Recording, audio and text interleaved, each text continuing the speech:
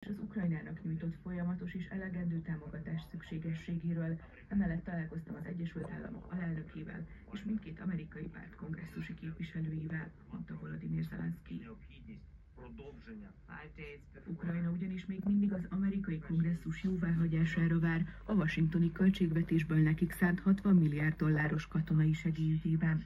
A több mint 20 ezer milliárd forintnak megfelelő támogatással a kievi vezetés szerint megváltoztathatnák a háborús erőviszonyokat.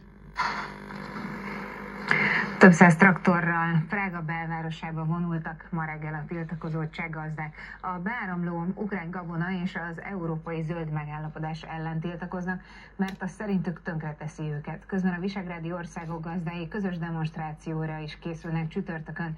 Györfi Balázs a Nemzeti Agrárgazdasági Kamara elnöke az m a Green Deal-ről, vagyis Brüsszel zöld megállapodásáról azt mondta, az egy őrültség, ami ráadásul nem is zöld, a gazdákkal pedig sem.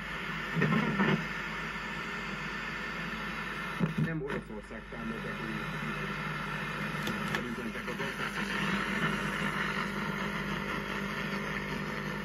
Kísérlik lezárni a Prágába vezető autópályát. A több száz traktor és más mezőgazdasági gép aztán fennakadásokat adott a közlekedésében is termelők egy része ugyanis a mezőgazdasági minisztérium épületéhez is elment, ahol levélben követelik a cseh agrárminisztertől, hogy a kormány lépjen ki az európai zöld megállapodásból.